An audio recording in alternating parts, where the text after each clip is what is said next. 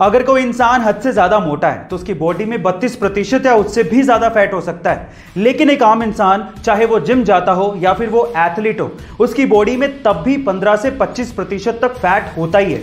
लेकिन इस दुनिया में एक बंदा ऐसा है, जिसकी बॉडी में मात्र तीन से चार प्रतिशत ही फैट है। ओह my god and let me tell you guys तीन से चार प्रतिशत फैट होना, ये कोई छोटी बात नहीं है। और जिसकी बॉडी में फैट बहुत ज़्यादा कम होता है, उसके कट्स बड़े अच्छे दिखते हैं। और इसी वजह से उन्हें वर्ल्ड्स मोस्ट स्ट्रीडेड मैन कहा जाता है। उनका नाम है हेलमेट स्ट्रिबल जो कि सैंतालीस साल के हैं, और वो एक वर्ल्ड चैंपियन बॉडी बिल्डर और फिटनेस मॉडल हैं। गाइस आपने जियो के बारे में तो ज़रूर सुना होगा। जी हाँ रिलायंस इंडस्ट्रीज़ के मालिक मुकेश अंबानी की टेलीकॉम कंपनी की ही मैं बात कर रहा हूँ। लेकिन अगर मैं आपसे सवाल पूछूँ कि क्या जियो की भी कोई फुल फॉर्म होती है? या फिर ऐसे ही जियो और जिने दो लाइन से इन्होंने जियो शब्द को उठा लिया है, क्या आप जानते हैं? चलिए मैं आपको बताता हूँ। एक्चुअली जियो शब्द ऐसी किसी लाइन से नहीं उठाया गया है। इसकी भी एक फुल फॉर्म होती है। और इसकी फुल फॉर्म है जॉइंट इंप्लीमेंटेशन अपॉर्चुनिटी आप में से कितने लोग ये बात जानते थे? चैट सेक्शन में ज़रूर लिखेगा। और ऐसे अमेजिंग वीडियोस के लिए यूट्यूब पे हमारे चैनल को सब्सक्राइब कर लीजिएगा।